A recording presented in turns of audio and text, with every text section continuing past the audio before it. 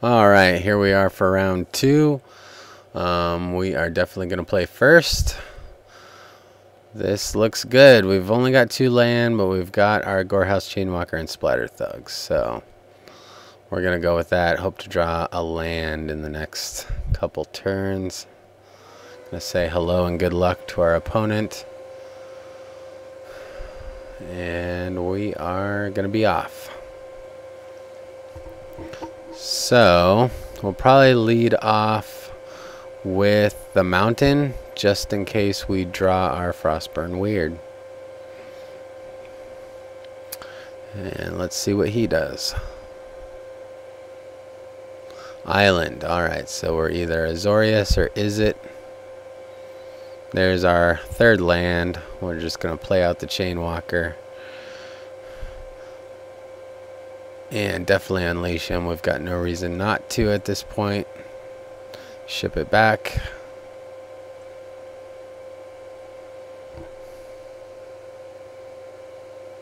Alright, looks like we're playing Izzet.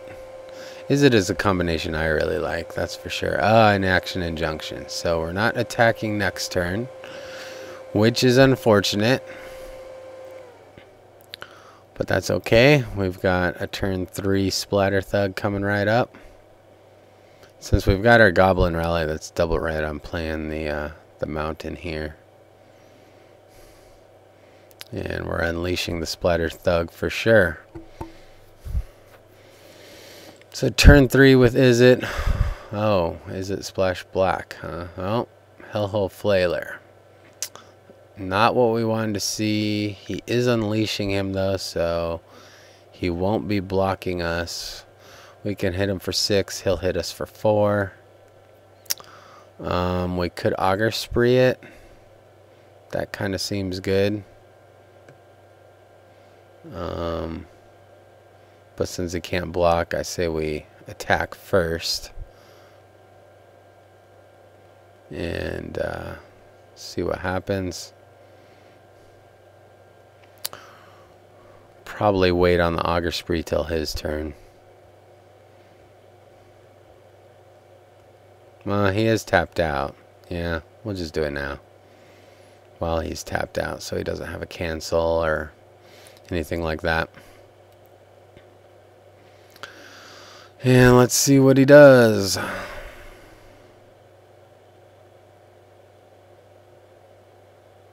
Blood Bloodfray Giant. Man, this guy's got all the uh, uncommons I wish I had.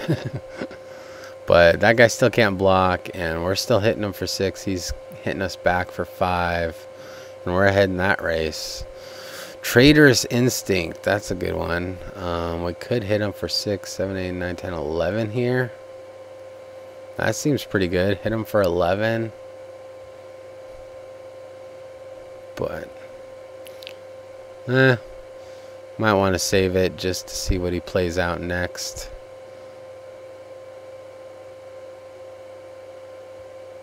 And play our Tavern Swindler. Just to get another guy on the board.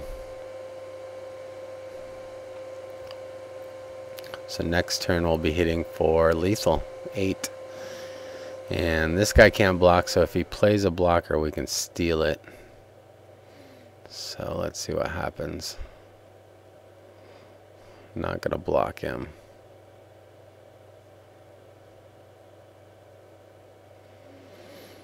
Hmm, and he just gave up. That, that, that was easy. Alright, so we didn't see much from him. Just a Bloodfray Giant and... Uh, Gorehouse Chainwalker. Could use Skull Rend to get those out of his hand. But, you know, I don't think we really need to.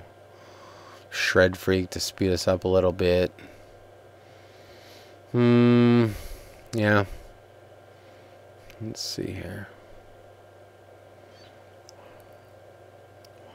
Everything looks pretty good to me. I mean, we could bring in the Lobber crew to finish him out. Cobblebrood's a big guy on turn four. Hmm. I don't know. I don't know if we really need anything else. Let's see if we put in the Cobblebrood, but take out a Jailbreaker. Or a launch party? Nah. We'll just ship it back. I, I think we've got a good match against this guy. Um, we got three lands, a cackler, and a weird, and a splatter thug. This looks awesome, actually.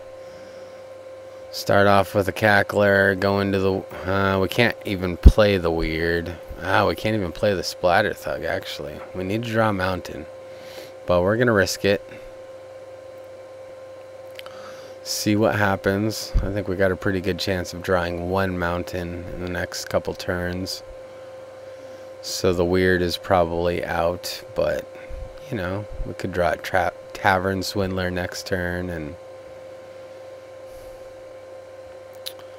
annihilating fire. That's not going to get played anytime soon, but that's okay. So we got the cackler. We're unleashing him for sure. We just want to be aggressive against this guy. Oh, a Chainwalker that we cannot play. That kind of sucks, but at least we're getting in two damage. And we'll just say go. Hopefully we draw a mountain next turn. That would be the goal.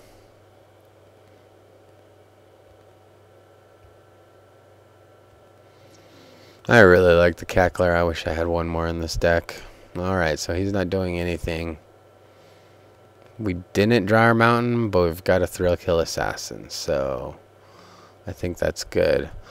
Um, I'm thinking we don't unleash the thrill kill assassin because we know he has a he has those big Bloodfray Giants and stuff, and this way we can always uh, have the option of blocking. I'm liking that a little better. We're not quite as aggressive this uh, time as last time, so. Yep, there's the giant. Is he going to unleash him? He is.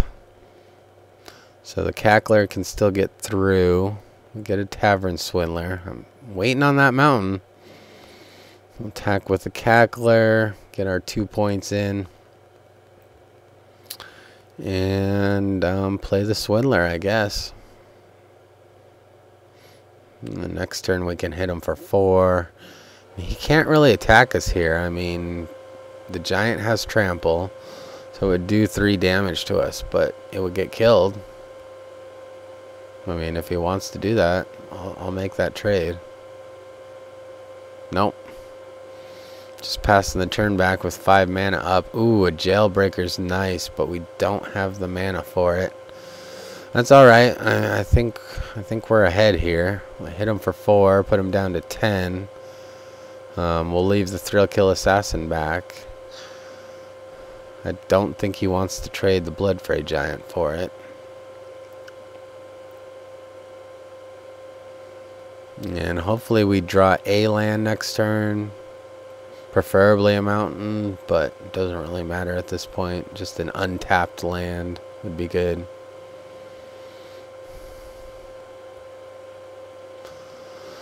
Is that five mana? Ooh, Pursuit of Flight. We haven't seen, uh... Well, he does have blue mana. We saw that last game, but he doesn't have it out now. Alright, so we got our land. Gonna attack for four. Play the uh, Jailbreaker. And say go. So he could hit us for 5 next turn. Trample damage, but I still don't think he wants to trade the giant for the assassin.